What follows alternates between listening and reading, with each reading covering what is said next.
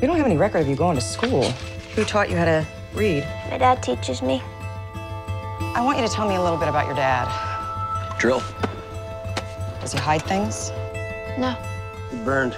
Your tracks are all over the place. Dad, I can do this. Well, then do it well.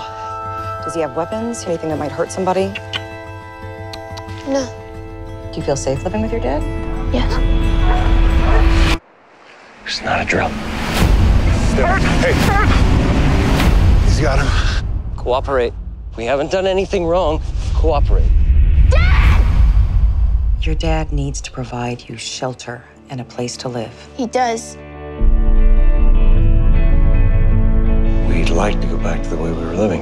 It's important for you to follow through so you guys can remain independent. Everything's different now. You can still think your own thoughts. Was your dad in the service?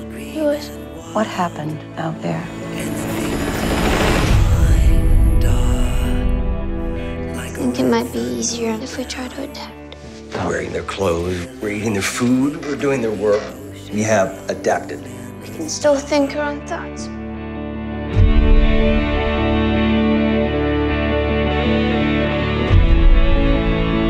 What are you doing? I won't become one. Where do you live? Where's your home? My dad.